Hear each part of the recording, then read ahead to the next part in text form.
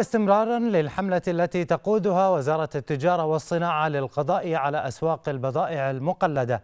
أكدت الوزارة قيام مفتش الطوارئ بجولة على عدد من المحال في محافظة حولي أسفرت عن تسجيل عدة مخالفات وذكرت الوزارة أن مفتشيها مستمرون في حملتهم وفق القانون المختص في البضائع المقلدة عبر خطة وضعها قطاع الرقابة التجارية وحماية المستهلك.